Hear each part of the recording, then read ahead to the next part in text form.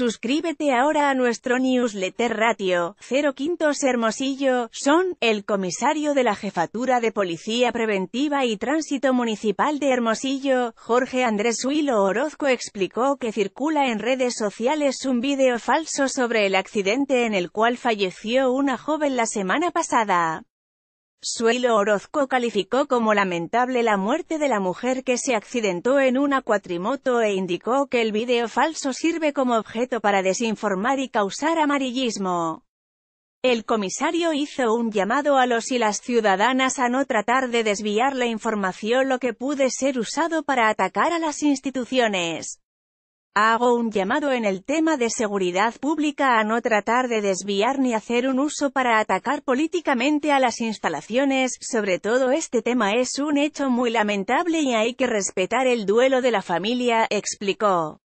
El comisario agregó que los usuarios de redes sociales que propagan este tipo de noticias falsas deben cambiar su forma de actuar y ser empáticos con los afectados.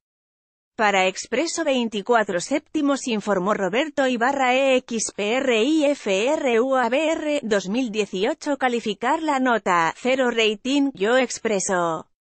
Repórtanos por WhatsApp 662-126-2721X resultados de la encuesta.